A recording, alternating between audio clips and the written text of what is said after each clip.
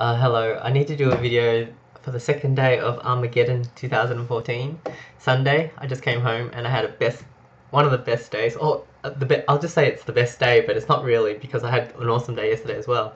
But I just, it's a figure of speech. um, yesterday I had a lot of fun um, being part of the Les cosplay group with my friends, like doing that. That was really cool.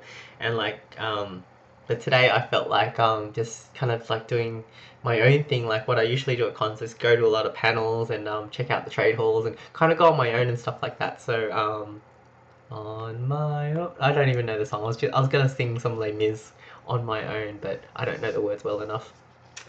Um, yeah, so I thought I was thinking about it. It's kind of like a yin yang thing. It's kind of like um, on one day I had like a lot of fun with my friends. Other day I had a lot of fun on my own. So it's kind of balanced. Like it's nice to have a balance, right? So, anyways, today I don't know. There's so many things, and some of the things are so good. I almost want to make a separate little video for them, but I don't know. We'll see how it goes. Um, first thing I went in. Um, so I didn't dress up today. I thought it'd be cool. It was going to be like 30 degrees today, so I decided to just wear a singlet and shorts. So I went in, and the first panel that I saw, like I planned my day out. I was going to see um, Margot Kidder, who was Lois Lane in the 80s Superman movies. Um, Helen Slater, who was Supergirl in the Supergirl movie, which is a movie I really liked in my childhood. Um, then I was gonna see the Jenna Coleman panel. Then I had already bought um, like a token, a photo token, to photo booth token to have a photo taken with Jenna Coleman, who's Clara on um, Doctor Who. That was at two o'clock, and then I was gonna go to the Turtles panel at um in the afternoon Oh, today was awesome. So much good stuff. Plus, I bumped into my friends. It was oh, so good. And um, Kevin Eastman, who's the creator of the Turtles, half two. There's two of them that created Turtles, so I was gonna be in the same room with him. And yeah, I was gonna see him at three, and then four thirty, I was gonna check out the cosplay competition because um, my friends um, Elise, Vicky, Kat, uh, Alex, and um, uh, Alana, and uh, we're in this um, they were dressed up as the wizards from Lord of the Ring plus some elves.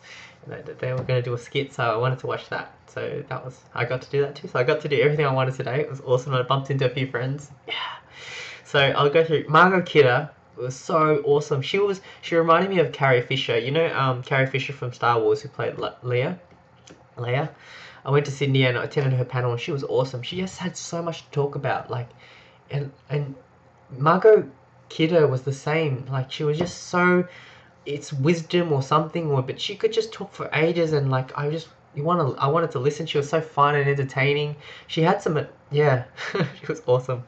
Um, she actually had some advice, three things of advice that she said that as she was older, she said this is what she said. She said, "Be nice to people."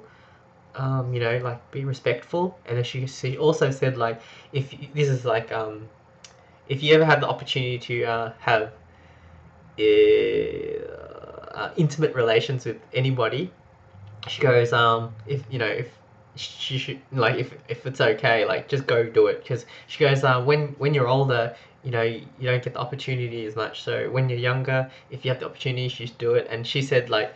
Um, she's very open about it. She said like yeah, she she did when she was younger. She was very glad that she did and stuff like that. So that was kind of interesting advice. It was good.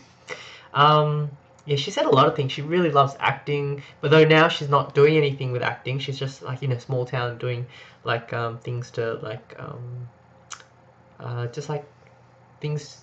I don't know exactly how to explain it, but just um, things like kind of like charity stuff, but like helping helping community in the world and stuff like that. Um, much. Yeah, I didn't know how to explain it properly, but anyways, uh, she was awesome. I really enjoyed the panel. I'm so glad it was at ten o'clock, so I, I in the morning I got ready and I just left the house straight away. Um, so I'm really glad I made it on time to to, to, to end that.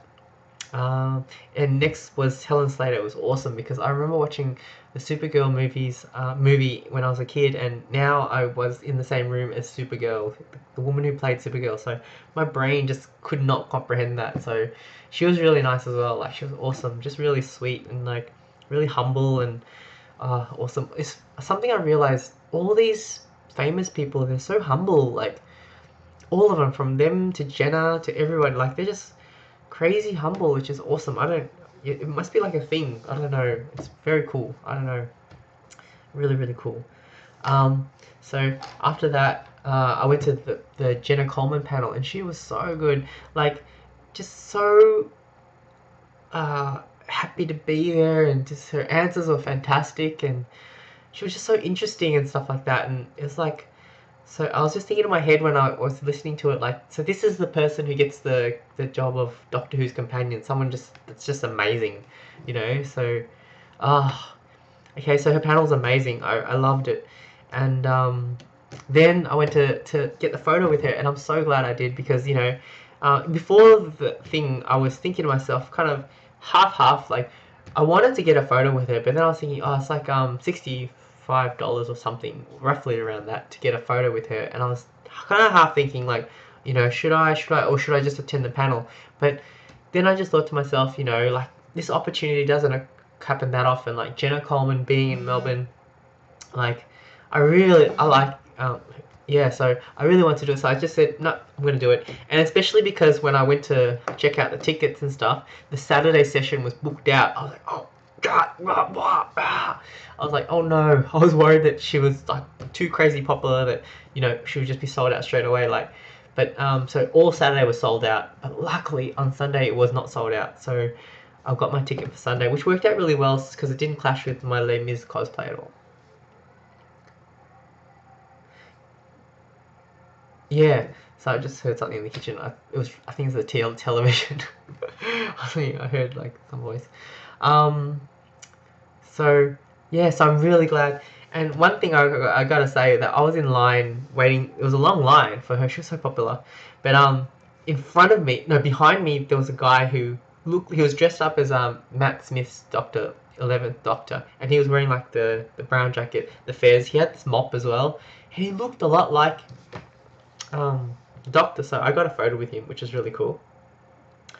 Um, uh, keep talking.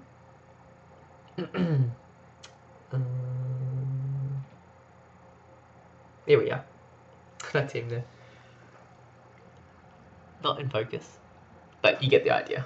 And the thing is, in front of me, like just in front of me, there was a, a, a woman and her daughter. The woman, I don't know, it was it was her mum, right? And her daughter, I would say, would be in her early teens or mid teens, and the daughter looked almost identically identical to Karen Gillan, who played Amy Pond. Actually, I told her that, like, she was standing there, and, and when she came back from the bathroom, she was walking towards me, and I looked at her, and I go, whoa, she looked just like Amy Pond. And um, she had the red hair, she was, like, slim, and her face was just, like, really pretty, and it was just like Amy Pond. So actually um, tapped her on the shoulder, and I said, you look like um, Amy Pond, and she was like, oh, that's, like, the best compliment she's got all day. And so, and her mum didn't know who Amy Pond was, because, like, she doesn't watch current Doctor Who and stuff. But yeah, now that I think about it, it doesn't matter. Like I thought maybe I, I could have like shown them a photo of it, but nah, doesn't need, not necessary. But yeah, it was fun like just being behind them because the mum was so mum motherly to her. like she was like, oh, you know, put on some sunscreen, and the daughter's like, no, no, it's no sunscreen. And then the mum's like, stay in the shade, and I was like, like a mum stuff to do. It's just kind of fun to watch. Like mums are so caring. Yeah, mums are awesome. And so yeah, so I was following them there, and then I got to have a photo with Clara. I feel like doing another video saying the same thing as this, but it's already included in this, so I'm gonna do it now. Um, so we got to the line, and then I yeah, I wasn't nervous, at, not really nervous, but kind of excited. Like as we got closer and closer to meeting Clara, I mean um, Jenna. Um, yeah, I wasn't too nervous. I just felt, and I wasn't really thinking hard like what to say because I just knew like when I got there I would just even if I just said you're awesome, like I just knew that it would be alright. Like that's enough. Like because if it's gen if you generally feel something, you say it. I think it will just carry across. You don't even have to say certain words. It's just how you feel. And I obviously really like Jenna Coleman. Like just yeah, I do like her her a lot. So when I came in, I saw her. Um, I just walked up and I said to her, like I looked her straight in the eye and I said, um, "You're awesome." And she's like, "Oh, thank you." And then and then um, we took the photo and I should put my arm around her, so I've put my arm around Jenna Coleman's waist. It was, like, it was really nice. And we had a photo, right? There we are. Get. Oh, shiny, because it's in a plastic pocket. So I put that as my Facebook profile picture. and um, because it's Clara, it's Clara. And um, as I was leaving, I was like, I waved, actually waved her. I said goodbye, and then she turned around and said bye. I was like, she's so nice. She's really cool. She seems really, really, really awesome. I mean, she's probably had a zillion photos that weekend already, but just the fact that you know she's still awesome. Uh, I don't know. I that made my day, week, year, month, whatever. I'm gonna stick it on my wall. I think. Yeah, it's really good. On the train ride home, I just my batteries was like less than ten percent on my phone, but I still pulled out the picture of that picture on my phone and just kind of like looking at it, going, "Ah, oh, that's nice. I like that picture." Because I'm next to Jenna Coleman, who's Clara on Doctor Who, so it's good. Uh, so I did that, and then I went to the Teenage Mutant Ninja Turtles. Kevin Eastman. He was one of the co-creators together with Peter Laird who created um, the Teenage Mutant Ninja Turtles which I'm a big fan of when I was a kid. Still am, I still love them. And I went into the panel and um, I sat right near the front like there's a front row reserved for the gold um, tickets people but I was right there after that in the second row.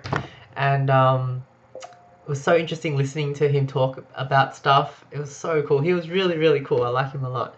And he was saying about the history of how it came about creating the turtles and stuff. And so it was really basically a joke. Like um i'll probably say oh you probably can look it up on the internet about how they came out to create the turtles. But it was really between him and his friend. Like they were thinking they were watching some bruce lee movies and they were thinking uh, if Bruce Lee was a, a, an animal, what would he least likely be? And is like a turtle. and so they drew a picture of like um, Michelangelo with the nunchucks, um, uh, as a turtle, and the other guy drew another version of it, uh, I think a better version, and then they just kept on taking turns drawing better versions of it. And then they said, "Oh well, if there's one, why can't we have more?" So they made four of them, and then they had, um, then I was thinking, I don't know, they just went on, and they were actually just writing drawing for themselves because they didn't think anyone would like it. They were just trying to have fun and just put in stuff that they wanted, and they were making fun of um, things, or not fun, but parody of things like yeah, it was really cool. And a really cool thing, like you know how I go to these panels and I never really ask any questions of the of the celebrities because often I really don't have a question that I really need to be feel like I want to know specifically. But with the turtles, I've always really wanted to know this. I've always wanted to know how they came about with um, naming the turtles uh, after Renaissance artists. And I was like, here's the guy who who um, created it. Now's my chance to ask. So I was the very first person to um, ask him a question. I, I went straight up to the microphone, just stood there and started it off. I said, um, thanks for making the turtles. It's, it's really awesome.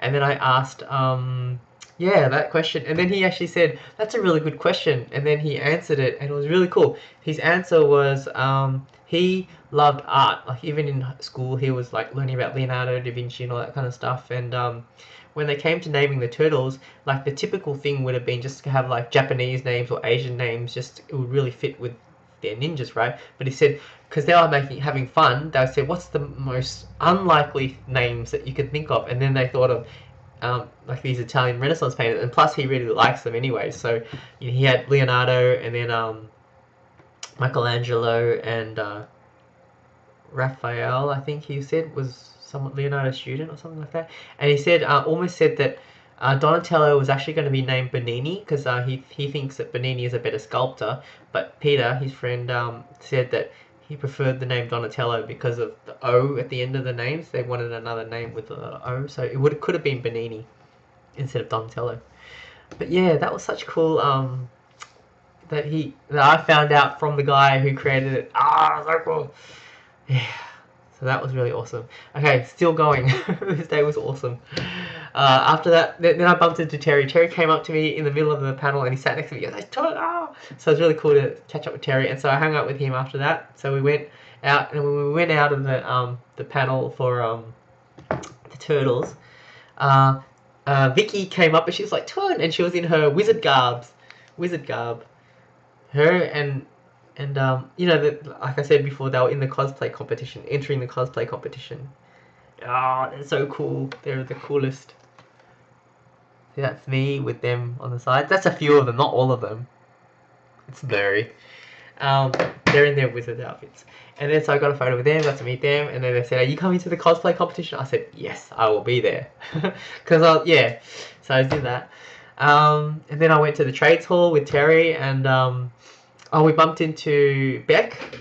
Uh, she was working. She was hanging out at her friend's stall, her friend Kat's stall, who makes like handcrafted soft toys, and um, like they're Quidditch friends. But um, she was hanging out there trading stuff, and then um, I was thinking like um I wanted to get something for my sister, right? And I couldn't think of what to get her. Like, I was looking at this like t-shirts and things, and nothing really jumped out at me. And then um, I, at the same time, I also had a thought like, you know, because I saw Beck earlier on, like she had just called out, and I, and I'd come over and chatted with her, and I was thinking like, what was she doing at the store? I didn't even bother to look at what she was had at the store. So this time around, I was like, oh yeah, so what, what kind of stuff do you have here? And she has like the, they have the soft toys that her friend makes, and she goes, I, I don't do anything, I just kind of sit here, and yeah. But um, then I, I saw there was one that's an Elphaba from Wicked. You know Elphaba? Wicked Elphaba. Well, it's cool because it's hand handmade by a friend of my friend, Kat. And if you're interested in this, I got her card. Uh, it's it's uh at, on Facebook. It's facebook.com slash cat K A T art illustrations, all one word, or Instagram slash the same thing, cat art illustrations, or Tumblr, cat art illustrations at tumblr.com. Dot tumblr.com if you're curious on checking it out because it's really cool it's charming I like it and um yeah so I'm gonna give that to my sister as like I don't know I just felt like getting her something and this is cool I think she'll like it and she likes Wicked like me I like Wicked See, it's even got hair at the back. How cool is that? So that's Elphaba. Cool as anything. And the thing is, it's a limited edition. There's only she only made four of those, and that was the last one. That sold me. Yeah, it was only twenty five dollars too. So I'm very happy. Very happy. Couldn't have gotten. I don't think I could have probably gotten anything better than that. Uh, for that you know value. Mm. So after that, I was standing there, and then Rod called out to me, Tun! And then I saw him, and him and Sarah were there talking to some people. And I, so I went over and I, I just met up with them. And when I saw Sarah, she was cosplaying um, Clara from Doctor Who, and she looks. Even before she cosplayed Clara, everyone was like, "You look just like Jenna Coleman." And even when I watch Doctor Who, when I look at Clara, I, I it looks just like Sarah. Like the features are pretty much the same. It's crazy. So when now when she's actually cosplaying Clara, I mean, yeah, uh, my brain was like, that's really weird because I just it's like I just saw her like an hour ago or something, and now here she is again. But I know that it's not her, but it, it's like an illusion. Uh, I have to show you the photo. She looks so much like it. Crazy. Um. Hmm. That's me with Jenna Coleman. Actually, no, it's Sarah. Sarah Cooper. Oh, you can't see. It's so blurry. But you gotta, you gotta trust me because I saw Jenna Coleman in the flesh. Then I saw Sarah right after, and my brain was confused. That's how good it is. Um, so that was really cool. And so all of us, we went to the cosplay competition and watched it. And the wizard, the, my friends, they did the funniest skit ever. I swear, it was so funny. it was really, really funny. I wonder if I can show a little clip of it. I took a video of it. I might as well, otherwise you won't get the idea of what happened. I'll just show you a little clip of it.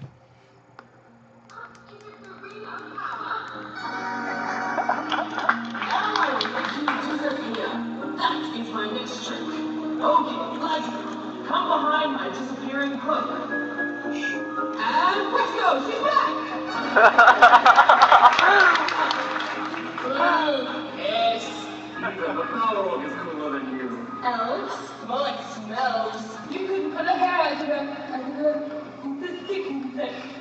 Oh, yeah, well, let's see you guys do better. Don't take me for some conjurer and cheap tricks.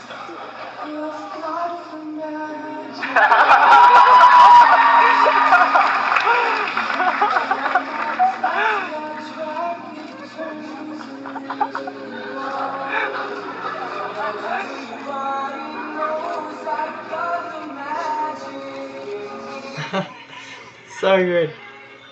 And that reminds me, I bumped into um, the I, I spotted the ladies, my friends from yesterday doing it as well. So I ran up to them and um, Kat was there. Uh, Kat, different Kat, Katrina, um, Bevan, Bevan, and um, her and her friend were doing uh, a Mighty Boosh cosplay. And they, I was asking the guy like, cause he's he held this thing that had music, and I didn't know what it was, so I wanted to know. And then um, they just did a performance, a little performance for me. Hmm. Here it is.